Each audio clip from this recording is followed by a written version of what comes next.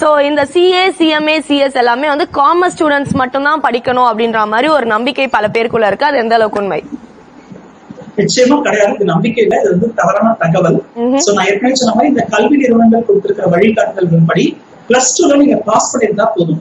Okay நீங்க வந்து plus டூல எவ்வளவு மார்க் எடுத்திருக்கீங்க எந்த குரூப் படிச்சிருக்கீங்கன்னு சொல்லிட்டு உங்களை யாரும் கேள்வி கேட்க போறது கிடையாது. நீங்க பிளஸ் டூல பாஸ் பண்ணிருந்தீங்கன்னா போதும். ஏன்னா நிறைய மாணவர்கள் வந்து பத்தாம் வகுப்புல ஒரு நானூறு மதிப்பெண்ணுக்கு மேல எடுத்துட்டாங்கன்னா அவங்களுக்கு தெரிஞ்சவங்க அவங்க ஃப்ரெண்ட்ஸ் ரிலேட்டிவ்ஸ் டீச்சர்ஸ் எல்லாருமே சேர்ந்து நீ நல்லா படிக்கிற பையன் நீ சயின்ஸ் குரூப் படின்னு சொல்லி அவங்க அந்த சயின்ஸ் குரூப்ல புஷ் பண்ணி விட்டுறாங்க.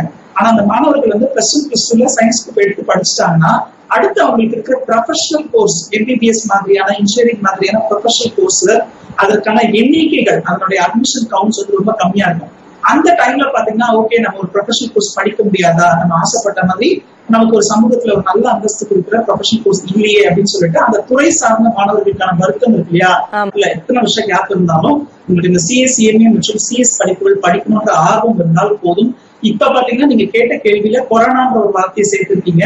எஸ்பெஷலி இந்த டைம்ல நிறைய பேர் வந்து வேலைகளை இழந்திருக்காங்க. பல துறைகள்ல வேலை செஞ்சவங்க இந்த வேலைகளை இழந்த பிறகு நான் இந்த ப்ரொஃபஷனல் கோர்ஸ் படிச்சா எனக்கு வந்து லைஃப் டைம் எனக்கு ஜாப் ஆப்பர்ச்சுனிட்டிஸ் இருக்குன்ற ஒரு அவேர்னஸோட இந்த கோர்ஸ்க்குள்ள வரலாமான்ற சந்தேகத்தை நிறைய பேர் கேட்கிறாங்க நீங்க கேட்கிற மாதிரி corona time work from home இதனால வந்து சிஎஸ்சிஎம்ஏ முடித்தவர்களுக்கான வேலை வாய்ப்புகள் குறையும் அப்படின்றதுக்கான சாத்தியமே கிடையாது. அப்படி நீங்க சொன்னீங்கன்னா எல்லா தொழிற்சாலைகளும் மூடப்படும். அந்த சமயத்துல எந்த வியாபார நிறுவனமே இருக்காது. எந்த பிசினஸ்மே நடக்காதுன்னா யாருமே உயிர் வாழ முடியாது இல்லையா? அந்த ஒரு சுச்சுவேஷன் வந்து அந்த அளவுக்கு ஒரு கிரைசிஸ் பஞ்சம் வந்தா மட்டும்தான் நீங்க கேள்வி கேட்கறீங்க இல்லையா? அது பாசிபிளா இருக்கும். நிச்சயமா இந்த பேண்டமிக் சுச்சுவேஷன் கூடிய சீக்கிரம் சால்வ் ஆக போகுது. சோ அதுக்கப்புறம் எல்லா நிறுவனங்களும் ஆஸ் யூஷுவல் வந்து அவங்களுடைய ப்ரொடக்ஷனை இன்க்ரீஸ் பண்ண போறாங்க. எல்லாருமே வந்து அவங்களுடைய பிசினஸ் டெவலப் பண்ண தான் போறாங்க. ஏன்னா இத்தனை கோடி மக்களுக்கு தேவையான சேவைகள் வந்து வழங்கப்பட வேண்டும். சோ அதனால வந்து உங்களுடைய வாய்ப்புகள் வந்து குறையறதுக்கான அவகாசமே கிடையாது.